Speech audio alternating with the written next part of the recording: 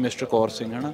One and only one ਜਿਨ੍ਹਾਂ ਨੇ ਮੁਹੰਮਦ ਅਲੀ ਨਾਲ ਲੜਾਈ ਕੀਤੀ ਹੈ ਤੇ ਪੰਜਾਬ ਦੇ ਹੀਰੋ ਨੇ, ਹਨਾ? ਪੰਜਾਬ ਦਾ ਐਨਾ ਆਪਣਾ ਮਾਨ ਹੈ ਕੌਰ ਸਿੰਘ ਤੇ ਮੈਂ ਆਪਣੇ ਆਪ ਨੂੰ ਬਹੁਤ ਲੱਕੀ ਸਮਝਦਾ ਵੀ ਸਾਨੂੰ ਇਹੋ ਜੀ ਓਪਰਚੁਨਿਟੀ ਮਿਲੀ ਵੀ ਅਸੀਂ ਮਿਸਟਰ ਕੌਰ ਸਿੰਘ ਨੂੰ ਸਿਲਵਰ ਸਕਰੀਨ ਦੇ ਉੱਪਰ ਰਿਪਰੈਜ਼ੈਂਟ ਕੀਤਾ ਹੈਗਾ। ਬਾਕੀ ਹੋਰ ਜੋ ਕੁਝ ਇਹਦੇ 'ਚ ਹੈਗਾ ਫਾਦਰ ਦੀ ਬੌਂਡਿੰਗ ਕੀ ਹੈ ਫਾਦਰ ਦਾ ਕੀ ਰੋਲ ਰਹਿੰਦਾ ਆਪਣੇ ਬੱਚੇ ਨੂੰ ਕਦੇ ਵੀ ਕਿਤੇ ਪਹੁੰਚਾਉਣ ਵਾਸਤੇ, ਉਹ ਸਾਰੀ ਚੀਜ਼ਾਂ ਇਹਦੇ ਵਿੱਚ ਸੀਗੀਆਂ, ਹਨਾ? ਫਿਰ ਅਸੀਂ ਕਿਹਾ ਵੀ ਨਹੀਂ, ਇਹ ਤੇ ਆਪਾਂ ਆਪਣਾ ਮੰਨਣੀ ਚਾਹੀਦੀ ਹੈ ਹੁਣ ਐਟਲੀਸਟ ਇਹ ਚੀਜ਼ ਬਣਾ ਕੇ ਇਹ ਤਾਂ ਰਹੂਗਾ ਨਾ ਵੀ ਕੌਰ ਸਿੰਘ ਦੀ ਸਟੋਰੀ ਰਹਿੰਦੀ ਦੁਨੀਆ ਤੱਕ ਰਹੂਗੀ, ਹਨਾ? ਇੱਕ ਵਾਰੀ ਚੜ ਗਈ YouTube ਤੇ ਕਿਤੇ ਹੋਰ ਚੜ ਗਈ, ਕਦੋਂ ਭਾਵੇਂ 50 ਸਾਲ ਬਾਅਦ ਬੰਦਾ ਦੇਖ ਲਿਆ, ਹਨਾ? ਉਹ ਸਟੋਰੀ ਲਾਈਵ ਰਹੇਗੀ ਇੱਕ ਮਤਲਬ, ਹਨਾ? ਉਹ ਸ਼ਾਹਰੁਖ ਖਾਨ ਨੇ 5 ਲੱਖ ਰੁਪਏ ਦੇ ਕੇ ਇੱਕ ਮਿਸਾਲ ਕਾਇਮ ਕਰਤੀ ਜਿਹਦੇ ਕਰਕੇ ਫਿਲਮ ਬਣ ਗਈ ਤੇ ਗੱਲ ਕਿੱਥੇ ਤੱਕ ਚਲੇਗੀ, ਹਨਾ? ਨਹੀਂ ਤਾਂ ਕੀ ਸੀ, ਐਂ ਪਤਾ ਨਹੀਂ ਲੱਗਣਾ ਹੀ ਦੁਨੀਆ ਨੂੰ। ਸਤਿ ਸ਼੍ਰੀ ਅਕਾਲ ਜੀ, ਬਹੁਤ ਬਹੁਤ ਸਵਾਗਤ ਹੈ। ਸਾਡੇ ਪੰਜਾਬੀ ਸਿਨੇਮਾ ਦੇ ਵਿੱਚ ਬੜੇ ਸੋਹਣੇ ਕਨਸੈਪਟਸ ਦੇ ਉੱਪਰ ਫਿਲਮਾਂ ਬਣ ਰਹੀਆਂ ਨੇ ਤੇ ਰਿਲੀਜ਼ ਹੋ ਰਹੀਆਂ ਨੇ। ਇੱਕ ਅਜਿਹੀ ਫਿਲਮ ਇੱਕ ਅਜਿਹੇ ਇਨਸਾਨ ਦੀ ਬਾਇਓਗ੍ਰਾਫੀ ਜਿਨ੍ਹਾਂ ਨੇ 37 ਸਾਲ ਤੱਕ ਇੰਤਜ਼ਾਰ ਕੀਤਾ। ਇੱਕ ਅਜਿਹੀ ਸਟੋਰੀ ਜੋ ਸਾਡੇ ਸਭ ਲਈ ਇਨਸਪਾਇਰਿੰਗ ਤੇ ਹੈ ਹੀ। ਪਦਮ ਸ਼੍ਰੀ ਕੌਰ ਸਿੰਘ ਦੀ ਕਹਾਣੀ ਜਿਸ ਫਿਲਮ ਨੂੰ ਰਿਲੀਜ਼ ਹੁੰਦਿਆਂ ਉਹਦੀਆਂ ਡੇਟਸ ਬੇਸ਼ੱਕ ਚੇਂਜ ਹੁੰਦੀਆਂ ਰਹੀਆਂ ਫਾਈਨਲੀ ਉਹ ਫਿਲਮ ਸਿਨੇਮਾ ਘਰਾਂ ਦਾ ਸ਼ਿੰਗਾਰ 22 ਜੁਲਾਈ ਨੂੰ ਬਣ ਜਾਏਗੀ। ਫਿਲਮ ਦੇ ਵਿੱਚ ਪਦਮ ਸ਼੍ਰੀ ਕੌਰ ਸਿੰਘ ਦਾ ਕਿਰਦਾਰ ਨਿਭਾਉਣ ਵਾਲੇ ਕਰਮ ਬਾਟ ਸਾਡੇ ਨਾਲ ਮੌਜੂਦ ਨੇ ਸੋ ਉਹਨਾਂ ਨਾਲ ਗੱਲਬਾਤ ਕਰਦੇ ਹਾਂ। ਸਰ ਬਹੁਤ ਬਹੁਤ ਸਵਾਗਤ। ਹਾਂਜੀ ਰੋਜ਼ਾਨਾ ਸਪੋਕਸਮੈਨ ਦੇਖ ਰਹੇ ਸਾਰਿਆਂ ਨੂੰ ਮੇਰੇ ਵੱਲੋਂ ਪਿਆਰ ਭਰੀ ਸਤਿ ਸ਼੍ਰੀ ਅਕਾਲ ਜੀ। ਤੁਸੀਂ ਇਸ ਫਿਲਮ ਦੇ ਵਿੱਚ ਕੌਰ ਸਿੰਘ ਦਾ ਕਿਰਦਾਰ ਵੀ ਨਿਭਾਇਆ ਤੇ ਤੁਸੀਂ ਇਸ ਫਿਲਮ ਦੇ ਪ੍ਰੋਡਿਊਸਰ ਵੀ ਹੋ। ਤਾਂ ਤੁਹਾਨੂੰ ਕਿਹੜੀ ਚੀਜ਼ ਜ਼ਿਆਦਾ ਚੈਲੰਜਿੰਗ ਲੱਗ ਰਹੀ ਹੈ? ਦੇਖੋ ਚੈਲੰਜਿੰਗ ਤਾਂ ਜਦੋਂ ਆਪਾਂ ਧਿਆ ਕੇ ਕਿਸੇ ਪਾਸੇ ਚੱਲ ਪਈਏ ਚੈਲੰਜ ਤਾਂ ਕੁਝ ਵੀ ਨਹੀਂ ਹੁੰਦਾ ਜ਼ਿੰਦਗੀ ਦੇ ਵਿੱਚ। If you are determined focused ਵੀ ਤੁਸੀਂ ਉਹ ਚੀਜ਼ ਅਚੀਵ ਕਰਨੀ ਹੈ। I think 90% of the time those things are achievable as long as you are willing to commit to it dedicate to it ਤੇ ਉਹ ਚੀਜ਼ਾਂ ਅਚੀਵ ਹੋ ਜਾਂਦੀਆਂ ਤੇ ਨੰਬਰ 2 ਥਿੰਗ ਇਹ ਆ ਜਾਂਦੀ ਹੈ ਵੀ ਮਿਸਟਰ ਕੌਰ ਸਿੰਘ ਹਨਾ? ਵਨ ਐਂਡ ਓਨਲੀ ਵਨ ਜਿਨ੍ਹਾਂ ਨੇ ਮੁਹੰਮਦ ਅਲੀ ਨਾਲ ਲੜਾਈ ਕੀਤੀ ਹੈ ਤੇ ਪੰਜਾਬ ਦੇ ਹੀਰੋ ਨੇ ਹਨਾ? ਪੰਜਾਬ ਦਾ ਐਨਾ ਆਪਣਾ ਮਾਨ ਹੈ ਕੌਰ ਸਿੰਘ ਤੇ ਮੈਂ ਆਪਣੇ ਆਪ ਨੂੰ ਬਹੁਤ ਲੱਕੀ ਸਮਝਦਾ ਵੀ ਸਾਨੂੰ ਇਹੋ ਜੀ ਓਪਰਚੁਨਿਟੀ ਮਿਲੀ ਵੀ ਅਸੀਂ ਮਿਸਟਰ ਕੌਰ ਸਿੰਘ ਨੂੰ ਸਿਲਵਰ ਸਕਰੀਨ ਦੇ ਉੱਪਰ ਰਿਪਰੈਜ਼ੈਂਟ ਕੀਤਾ ਹੈਗਾ। ਸਪੋਰਟ ਸਪੋਰਟ ਬੇਸਡ ਫਿਲਮ ਕਹਿ ਸਕਦੇ ਹਾਂ ਲੇਕਿਨ ਅਸੀਂ ਕੌਰ ਸਿੰਘ ਦੀ ਜ਼ਿੰਦਗੀ ਦੇ ਹੋਰ ਕਿਹੜੇ ਰੰਗ ਹੈ ਜੋ ਇਸ ਫਿਲਮ ਦੇ ਵਿੱਚ ਦੇਖਣ ਵਾਲੇ ਆ ਟ੍ਰੇਲਰ ਦੇ ਵਿੱਚ ਬਹੁਤ ਕੁਝ ਅਜਿਹਾ ਨਜ਼ਰ ਤੇ ਆ ਰਿਹਾ ਹਾਂਜੀ ਦੇਖੋ ਇਹ ਸਪੋਰਟਸ ਬਾਇਓਪਿਕ ਮੂਵੀ ਨਹੀਂ ਹੈ ਪਹਿਲਾਂ ਤਾਂ, ਹਨਾ? ਕਿਉਂਕਿ ਸਪੋਰਟਸ ਬਾਇਓਪਿਕ ਦੇ ਵਿੱਚ ਮੇਨਲੀ ਕੀ ਹੁੰਦਾ, ਜਿੱਤ ਹੈ, ਹਾਰ ਹੈ ਹਾਰ ਹੈ, ਜਿੱਤ ਹੈ, ਹਨਾ? ਸੋ ਅਸੀਂ ਉਹ ਐਂਗਲ ਨਹੀਂ ਦਿੱਤਾ even though yes he was a boxer but boxing ਜਿਹੜੀ ਆ, ਉਹ 8-10 ਮਿੰਟ ਦੇ ਜਿਹੜੇ ਮੈਚਸ ਨੇ ਇਨ ਆਊਟ ਇਨ ਆਊਟ ਰੱਖੇ ਹੈਗੇ ਆ। ਕਿਉਂਕਿ ਪੰਜਾਬੀ ਦਾ ਸਿਨੇਮਾ ਜਿਹੜਾ ਅਸੀਂ ਅੰਡਰਸਟੈਂਡ ਕਰਦੇ ਹਾਂ based on the revenue numbers ਹਨਾ? ਤੇ ਉਹ ਲਾਈਕ ਕਰਦੇ ਹੈਗੇ ਆ ਪਿਆਰ ਸੌਫਟ ਕਾਮੇਡੀ ਹਨਾ, ਜਿੱਥੇ ਇਮੋਸ਼ਨਸ ਇਨਵੋਲਡ ਹੋਣ। ਸੋ ਅਸੀਂ ਉਹ ਸਾਰੀ ਚੀਜ਼ਾਂ ਨੂੰ ਮਿਕਸ ਮੈਚ ਕਰਕੇ ਇੱਕ ਫਿਲਮ ਦੇ ਰੂਪ ਦੇ ਵਿੱਚ ਲੈ ਕੇ ਆ ਰਹੇ ਹੈਗੇ ਆ। ਤੇ ਉਹ ਸਾਰਾ ਕੁਝ ਹੀ ਹੈਗਾ it's entertainment like it's a commercial family drama movie biopic ਦੇ ਉੱਪਰ ਫਿਲਮ ਬਣਾਉਣਾ ਆਪਣੇ ਆਪ ਦੇ ਵਿੱਚ ਚੈਲੰਜ ਤੇ ਹੁੰਦਾ ਹੀ ਹੈ। ਲੇਕਿਨ ਇਨਸਪਾਇਰਿੰਗ ਉਹ ਸਟੋਰੀਜ਼ ਜ਼ਰੂਰ ਹੁੰਦੀਆਂ ਜੋ ਸਾਡੇ ਤੱਕ ਪਹੁੰਚਦੀਆਂ ਇਹ ਕਹਾਣੀ ਤੁਹਾਡੇ ਤੱਕ ਜੋ ਪਹੁੰਚੀ ਹੈ, ਤੁਸੀਂ ਕਿਹਾ ਕਿ ਮੈਂ ਆਪਣੇ ਆਪ ਨੂੰ ਖੁਸ਼ਕਿਸਮਤ ਸਮਝ ਰਿਹਾ ਇਹ ਕਹਾਣੀ ਤੁਹਾਡੇ ਤੱਕ ਪਹੁੰਚੀ ਕਿਵੇਂ ਸੀਗੀ? ਹਾਂਜੀ, ਮੇਰਾ ਇੱਕ ਫਰੈਂਡ ਸੀਗਾ, ਸੁਖਬੀਰ ਗਿੱਲ। ਤੇ ਉਹਨਾਂ ਦੇ ਰਿਲੇਸ਼ਨ ਸੀਗੇ ਮਿਸਟਰ ਵਿਕਰਮ ਪ੍ਰਧਾਨ ਨਾਲ, ਹਨਾ? ਤੇ ਫਿਰ ਜਦੋਂ ਇਹ ਸਟੋਰੀ ਪਹਿਲਾਂ ਕੋਈ ਹੋਰ ਵੱਡਾ ਆਰਟਿਸਟ ਕਰ ਰਿਹਾ ਸੀ, ਉਹਨਾਂ ਦਾ ਪ੍ਰੋਡਿਊਸਰ ਵਾਕਆਊਟ ਕਰ ਗਿਆ ਸੀਗਾ। ਫਿਰ ਉਹਨਾਂ ਨੇ ਮੈਨੂੰ ਨਰੇਟ ਕੀਤੀ, ਹਨਾ? ਤੇ ਫਿਰ ਮੈਨੂੰ ਬੜੀ ਅੱਛੀ ਲੱਗੀ। ਮੈਂ ਕਿਹਾ ਵੀ ਕੀ ਬਾਤ ਹੈ ਵੀ ਬਹੁਤ ਅੱਛੀ ਗੱਲ ਹੈ ਵੀ Kaur Singh one and only one ਹਨਾ? ਜਿਨ੍ਹਾਂ ਨੇ ਇੰਨਾ ਕੁਝ ਆਪਣੀ ਜ਼ਿੰਦਗੀ 'ਚ ਅਚੀਵ ਕੀਤਾ। ਫਿਰ ਮੈਂ ਦੇਖਿਆ ਵੀ ਉਹਨਾਂ ਦੇ ਨਾਲ ਰਲਦੇ ਮਿਲਦੇ ਆਪਣਾ ਮੱਖਣ ਸਿੰਘ ਵੀ ਹੈਗੇ ਆ, ਗੋਪਾਲ ਬੇਗੜਾ ਵੀ ਹੈਗਾ, ਸਤੀਸ਼ ਮੋਹਨ ਵੀ ਹੈਗਾ, ਹੋਰ ਕਾਫੀ ਹੈਗੇ ਆ। ਵੀ ਇਹ ਤਾਂ ਮਤਲਬ ਕਾਫੀ ਬੰਦੇ ਦੀ ਸਟੋਰੀ ਹੈ, ਇੱਕ ਬੰਦੇ ਦੀ ਨਹੀਂ। ਬਾਕੀ ਹੋਰ ਜੋ ਕੁਝ ਇਹਦੇ 'ਚ ਹੈਗਾ ਫਾਦਰ ਦੀ ਬੌਂਡਿੰਗ ਕੀ ਹੈ ਫਾਦਰ ਦਾ ਕੀ ਰੋਲ ਰਹਿੰਦਾ ਆਪਣੇ ਬੱਚੇ ਨੂੰ ਕਦੀ ਵੀ ਕਿਤੇ ਪਹੁੰਚਾਉਣ ਵਾਸਤੇ, ਉਹ ਸਾਰੀ ਚੀਜ਼ਾਂ ਇਹਦੇ ਵਿੱਚ ਸੀਗੀਆਂ ਹਨਾ। ਫਿਰ ਅਸੀਂ ਕਿਹਾ ਵੀ ਨਹੀਂ, ਇਹ ਤੇ ਆਪਾਂ ਫਿਲਮ ਬਣਨੀ ਚਾਹੀਦੀ। ਹੈ ਤੁਹਾਡਾ ਜਿਹੜਾ ਫਿਜ਼ੀਕਲ ਵਰਕ ਸੀਗਾ, ਉਹ ਤੇ ਨਜ਼ਰ ਆ ਹੀ ਰਿਹਾ ਸੀਗਾ। ਕੋਈ ਵੀ ਕਿਰਦਾਰ ਹੁੰਦਾ ਹੈ, ਉਹ ਇੱਕ ਬਾਹਰੀ ਲੁੱਕ ਹੁੰਦੀ ਹੈ, ਇੱਕ ਉਹਦੇ ਅੰਦਰ ਦੀ ਦੁਨੀਆ ਹੁੰਦੀ ਹੈ।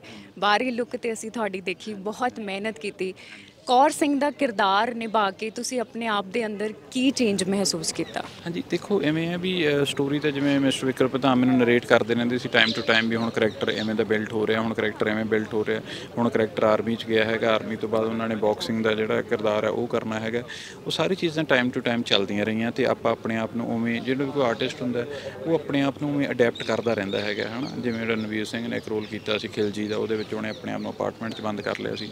ਸੋ ਕਹਿਣ ਦਾ ਮਤਲਬ ਉਹ ਸਾਰੀ ਚੀਜ਼ਾਂ ਦੇਖਦੇ ਹੋਏ ਆਪਾਂ ਵੀ ਉਹ ਰੋਲ ਨੂੰ ਪਲੇ ਕਰਨ ਲਈ ਆਪਾਂ ਪੂਰਾ 100% ਦਿੱਤਾ ਹੈਗਾ। ਅਗਰ ਤੁਹਾਡੇ ਬਿਜ਼ਨਸ ਦੀ ਗੱਲ ਕਰੀਏ, ਤੁਸੀਂ ਇੱਕ ਸਟਰਗਲ ਦਾ ਦੌਰ ਫੇਸ ਕੀਤਾ ਔਰ ਆਪਣੇ ਆਪ ਨੂੰ ਉੱਥੇ ਸਟੇਬਲ ਕੀਤਾ, ਬਹੁਤ ਸਾ- ਸਮਾਂ ਥੀਏਟਰ ਵੀ ਕੀਤਾ, ਉਸ ਤੋਂ ਬਾਅਦ ਫਿਲਮ ਬਣਾਉਣ ਦਾ ਇੱਕ ਫੈਸਲਾ ਕਰਨਾ, ਹੁਣ ਕਿਸ ਕਿਸਮ ਦਾ ਸਟਰਗਲ ਮਹਿਸੂਸ ਕਰਦੇ ਹੋ?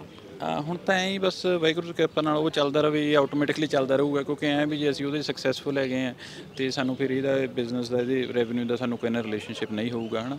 ਫਿਰ ਅਸੀਂ ਮਤਲਬ ਅੱਛਾ ਸਿਨੇਮਾ ਜਿਹੜਾ ਟਾਈਮ ਟੂ ਟਾਈਮ ਮਤਲਬ ਹਿਸਟੋਰੀਕਲ ਚੀਜ਼ਾਂ ਅੱਗੇ ਲੈ ਕੇ ਆਵਾਂਗੇ, ਕਿਉਂਕਿ ਇਹ ਵੀ ਇੱਕ ਹਿਸਟਰੀ ਹੈ ਆਪਣੀ, ਆਪਣਾ ਇਤਿਹਾਸ ਹੈ, ਹਨਾ? ਦੇਖੋ, ਇਹ ਇਤਿਹਾਸ ਤੋਂ ਕਿਤੇ ਆਪਾਂ ਵਾਂਝੇ ਨਾ ਰਹਿ ਜਾਈਏ, ਹਨਾ? ਹੁਣ ਐਟਲੀਸਟ ਇਹ ਚੀਜ਼ ਬਣਾ ਕੇ ਇਹ ਤਾਂ ਰਹੂਗਾ ਨਾ ਵੀ ਕੌਰ ਸਿੰਘ ਦੀ ਸਟੋਰੀ ਰਹਿੰਦੀ, ਦੁਨੀਆ ਤੱਕ ਰਹੂਗੀ, ਹਨਾ? ਇੱਕ ਵਾਰੀ ਚੜ ਗਈ YouTube ਤੇ, ਕਿਤੇ ਹੋਰ ਚੜ ਗਈ, ਕਦੋਂ ਭਾਵੇਂ 50 ਸਾਲ ਬਾਅਦ ਬੰਦਾ ਦੇਖ ਲਿਆ, ਹਨਾ? ਉਹ ਸਟੋਰੀ ਲਾਈਵ ਰਹਿ ਗਈ, ਇੱਕ ਮਤਲਬ, ਹਨਾ? ਉਹ ਸ਼ਾਹਰੁਖ ਖਾਨ ਨੇ 5 ਲੱਖ ਰੁਪਏ ਦੇ ਕੇ ਇੱਕ ਮਿਸਾਲ ਕਾਇਮ ਕਰਤੀ ਵੀ ਜਿਹਦੇ ਕਰਕੇ ਫਿਲਮ ਬਣ ਗਈ ਤੇ ਗੱਲ ਕਿੱਥੇ ਤੱਕ ਚਲੇਗੀ, ਹਨਾ? ਨਹੀਂ ਤਾਂ ਕੀ ਸੀ, ਐਂ ਪਤਾ ਨਹੀਂ ਲੱਗਣਾ ਸੀ ਦੁਨੀਆ ਨੂੰ। ਕਿਰਦਾਰਾਂ ਦੀ ਫਿਲਮ ਹੈ ਤਾਂ ਹਰ ਇੱਕ ਕਿਰਦਾਰ ਨੂੰ ਬਖੂਬੀ ਦਿਖਾਇਆ ਗਿਆ ਟ੍ਰੇਲਰ ਦੇ ਵਿੱਚ ਅਸੀਂ ਦੇਖ ਰਹੇ ਹਾਂ। ਕਿਸ ਤਰ੍ਹਾਂ ਚੋਣ ਕੀਤੀ ਗਈ ਸੀ ਸਭ ਦੀ? ਕਿਉਂਕਿ ਚੈਲੰਜਿੰਗ ਤੇ ਹੈ ਹੀ ਸੀ।